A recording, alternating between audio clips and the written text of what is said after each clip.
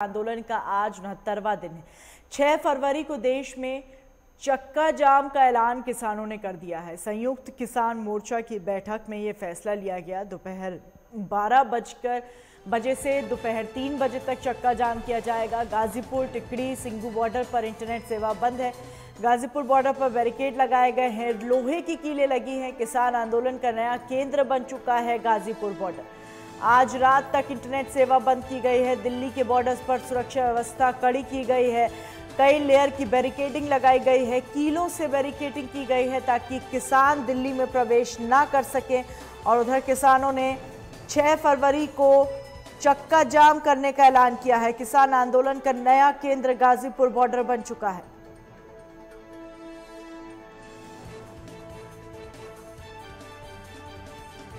तो दिल्ली के बॉर्डर्स पर सुरक्षा व्यवस्था कड़ी और इसी के साथ कई लेयर की बैरिकेडिंग लगाई गई है। पुलिस की कई टीमें तैनात हैं। कई यूनिट्स पुलिस की मौजूद हैं ताकि किसानों को दिल्ली जाने से रोका जा सके। वहीं किसानों ने बड़ी मात्रा में ऐलान किया है कि 6 फरवरी को चक्का जाम करेंगे। दोपहर 12 बजे से 3 बजे तक चक्का जाम करेंगे किसान।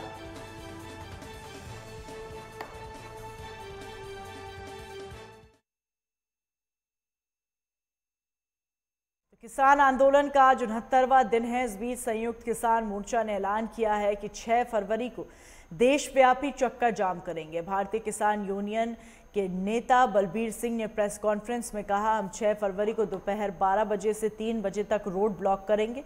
उन्होंने कहा कि प्रदर्शन स्थलों पर इंटरनेट बैन है, बजट में किसानों को नजरअंदाज किए जाने और अन्य मुद्दों को लेकर हम चक्का जाम करेंगे। किसान नेताओं ने आरोप लगाया कि केंद्रीय बजट इक्कीस बाईस में किसानों की अनदेखी की गई और उनके विरोध स्थलों पर पानी और बिजली की आपूर्ति को बंद कर दिया। बता दें, संयुक्त किसान मोर्चा के नेतृत्व में दिल्ली की सीमाओं पर किसानों का आंदोलन दो महीने से अधिक समय से चल रहा है। आंदोलनकारी किसान तीन नए कृषि कानूनों को वापस लेने की मांग कर रहे हैं।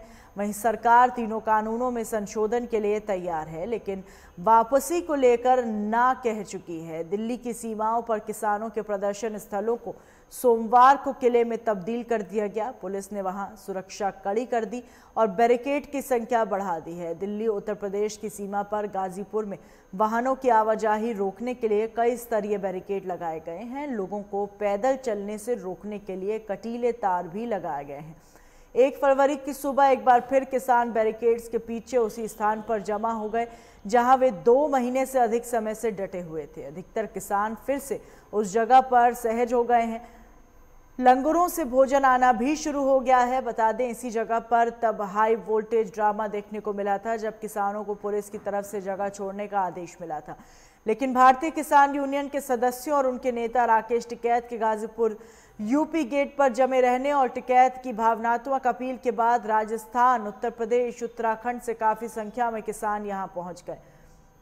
इसके बाद घटनाक्रम काफ़ी तेज़ी से बदल गया और अब गाजीपुर बॉर्डर पर हज़ारों की संख्या में किसान डटे हुए हैं।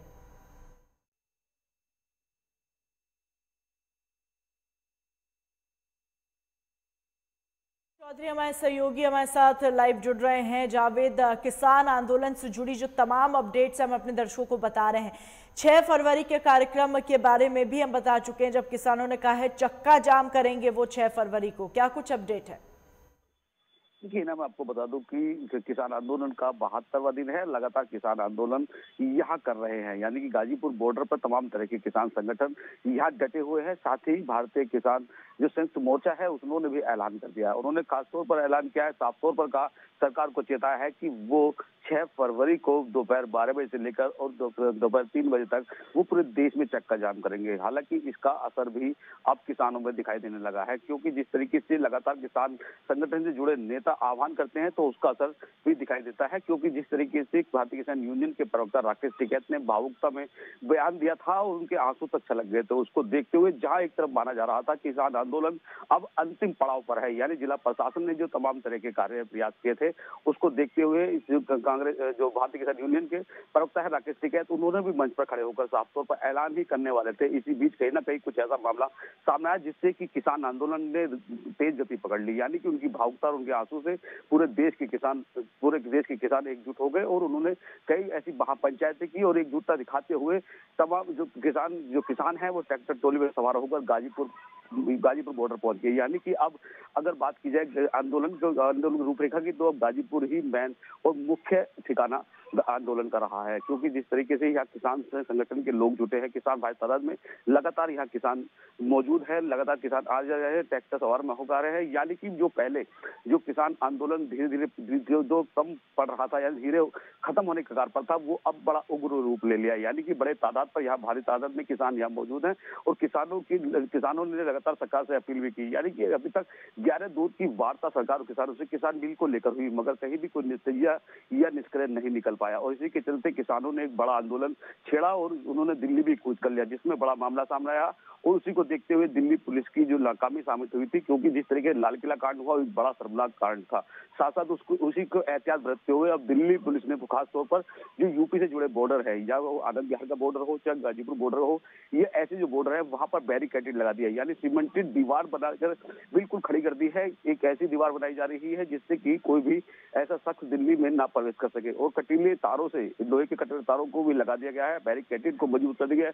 सुरक्षा व्यवस्था मज़बूत है कि कोई भी अप्रिय घटना ना घटे, जो पूर्व में घटी जा चुकी है। साथ साथ ही ऐसी बैरिकेड लगाकर वहाँ पर भारी तादाद में फोर्स को भी तैनात कर दिया। यानी कि छह फरवरी की जो तैयारी चल रही है, उसको देखते हुए एहतियात बरती जा रही है। जिला प्रशासन तमाम तरह के इंतज़ाम कर रहे हैं। इधर अगर गाजियाबाद की बात करूँ तो गाजियाबाद में भी पूरी तरीके से सुरक्षा व्यवस्था मज़बूत है और जिला प्रशासन से जुड़े आला अधिकारी भी मौके पर मुआयना कर रहे हैं। साथ साथ वहाँ पर एसपी लेवल के कई अधिकारी मौजूद रहते हैं। एसडीएम लेवल के कई अधिकारी मौजूद रहते हैं और जिला डीएम और एसएसपी लगातार दौरा कर रहे हैं। साथ साथ साथ उनको एहतियात बरतने के साथ साथ उनको सावधानी और सुरक्षा की बात भी लगातार की जा रही है। यानी कि हर तरह के इंतज़ाम यहाँ कर दिए गए हैं। किसी भी अप्रिय घटना निपटने के इंतज़ाम भी है, बल्कि किसान संगठन के लोगों से वार्ता भी लगातार चल रही है कि कोई भी ऐसा कार्य न किया जाए जो कि कानून के खिलाफ हो।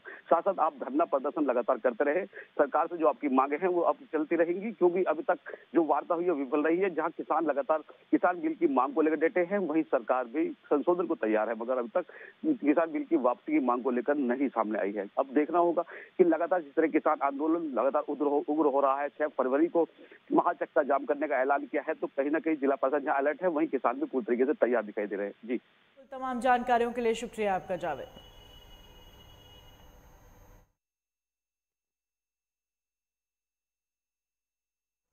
रुकेंगे ब्रेक के लिए, ब्रेक उस पार खबरों का सिलसिला जारी रहेगा।